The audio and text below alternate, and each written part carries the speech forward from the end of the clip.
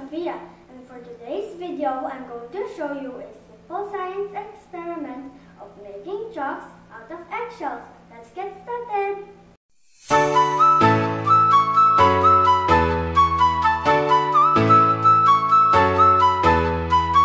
Do you know that commercial chalks and eggshells have the same mineral component?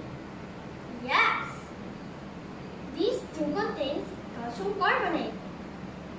Commercial chalks are made up of limestones, which contains calcium carbonate. Limestones can be found in shallow areas of the ocean, caves, and rocks, which were powderized and shaped into logs to make a commercial chalk, which were used by our teachers and fellow students. While eggshells is the outer covering of a hard-shelled egg. Eggshells contains calcium carbonate, which like limestone is a good source of making chalks. In this experiment, you will need about 5 to 6 eggshells. Remove the membrane of the eggshells. Membrane is the thin skin inside the shell. Next, sterilize the eggshells bacteria, then let it dry. Once the eggshells have been dried up, grind it until it becomes powder-like in texture, the same as this one. Aside from eggshells, you will also need flour, which serves as our binder.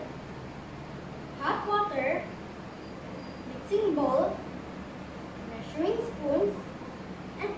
bowls just in case if you like to color your chalk. I have here food coloring. I also have here baking paper. The measurement in this experiment is 1 to 1, meaning if you have 1 teaspoon of eggshell, you will have you will need 1 teaspoon of flour. Let's begin.